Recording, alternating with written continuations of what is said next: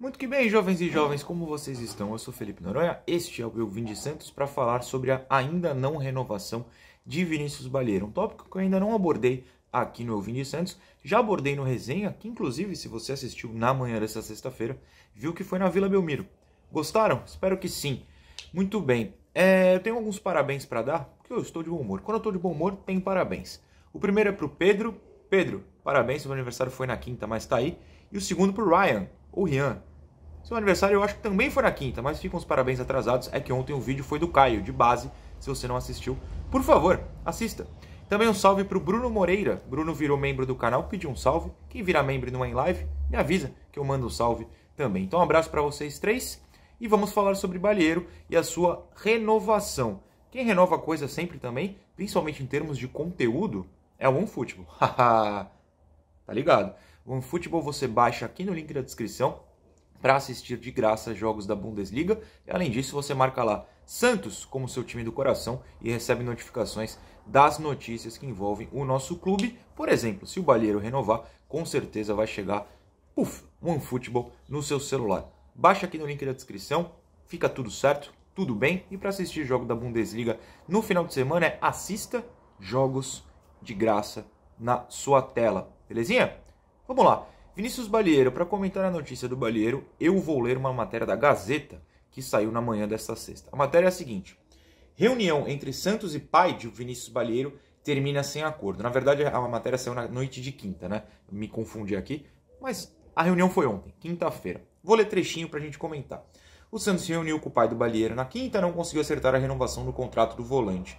O Balieiro é agenciado pelo próprio pai, que se chama Lourenço, e a reunião com o Rueda não resolveu ainda a situação. A matéria também fala que o Santos quer muito renovar, que o Balheiro deixou claro para o clube que também pretende ficar, mas que o pai ainda não acertou a questão dos valores. E vem acravado, ó, no penúltimo parágrafo. Enquanto a novela continuar, Balheiro não atuará sob o comando de Carilli, mesmo que o treinador o tenha nos planos. Esse trecho é muito importante porque mostra que, de fato, segundo a apuração da Gazeta, é, ele não está sendo relacionado por essa questão da não renovação e que o cara ele quer, né? Esse primeiro volante ali poderia ser o Balheiro, se não como titular, como mais uma opção, mas não tá rolando por causa disso. O Balheiro até atuou na terça-feira, né?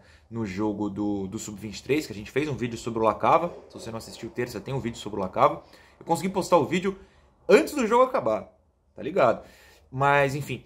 E o Balheiro atuou, não atuou tão bem, mas é, é ele que dá o passe, se eu não me engano, para a jogada do Lacava no segundo gol. Enfim, vamos comentar. Eu acho que discussões com, com empresários, seja pai ou não, é uma coisa normal. É, é assim que o futebol funciona, é assim que as renovações, enfim, qualquer contrato assinado acontece. O empresário discute com o jogador. Uh, só que eu acho, e tenho até um pouco mais de fé do que achismo, na verdade, que quando o clube quer e o jogador também quer, é, a tendência é a assinatura, mesmo que demore, mas poderia ser um pouquinho mais rápido. O jogador sabe que é uma chance de ouro continuar no Santos, que o técnico que está no clube agora quer tê-lo em campo, quer tê-lo como peça nessa briga que o Santos se envolveu no brasileiro. Então, eu acho que, por exemplo, há alternativas, né? Um contrato mais curto, um, se por um acaso o, o pai dele tem propostas de outros clubes, apresentar essas propostas, mostrar valores para o Santos, é, provar talvez que, que haja outras possibilidades melhores em outros clubes para mostrar para o Santos que vale pagar um pouco mais. Se não, o Santos também tem seus limites, né? O Santos está numa crise financeira. Agora, se o Balheiro quer ficar, e a matéria diz isso, ó, Balheiro quer permanecer e inclusive foi questionado pelo técnico Carilli sobre a situação. A ideia do atleta e do clube é renovar em breve, mas o volante deixa toda a situação para o seu pai e com ele não houve avanço até agora. Aí, julgar a relação aqui não, não tem como, né? Pelo amor de Deus. Mas o Balheiro podia dar esse passo, né? E falar, não, vamos, vamos nos acertar. Eu quero ficar. Eu acho que a renovação é boa para minha carreira. Eu também acho, tá? Assim, sendo bem honesto, eu acho que a renovação é boa para a carreira. Ele, até o ano passado, faz mais ou menos um ano, se eu não me engano, aquele jogo contra o Inter que ele estreia é em setembro. Posso estar enganado, mas enfim, por aí. E ele era do sub-23, não era nem visto como uma peça para o profissional. Aí estreou num dia que estava todo mundo é, ou lesionado ou com, com o vírus. E foi bem. E teve boas sequências. Na Libertadores com o Holland, por exemplo, jogando mais aberto, é, fez gols, gols, né?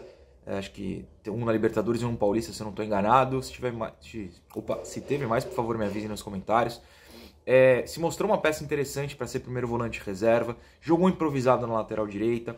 É um cara que tem condição sim de manter-se no, no elenco profissional e ser uma peça útil. Lembrando que peças úteis não necessariamente são as titulares. Tem que ter elenco, o elenco precisa ser profundo.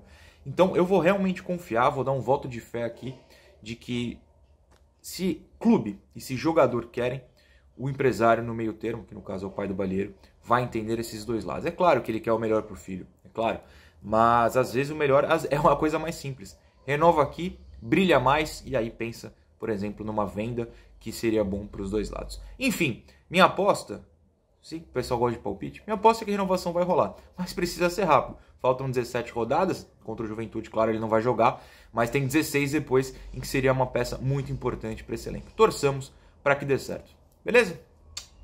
Se eu não me engano, mais tarde eu volto para a gente analisar essa questão tática do Carille.